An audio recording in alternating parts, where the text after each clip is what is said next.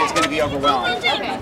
So um, I would still come a little bit closer just because the audio, I think we need less. Okay. Come on, keep on moving. Keep moving. So Welcome to the eclipse. If the world ends in the next few minutes, you will see it right here first. Um, Uh, I'm in Salem, Oregon, at the Oregon State Capitol, and I also just want to note that?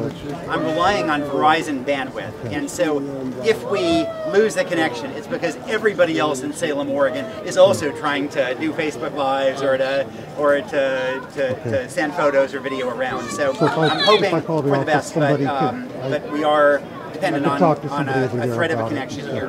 Um, and it's uh, it's a few minutes before the Well- totality here. I'm with Oregon Governor Yeah. Kate Brown.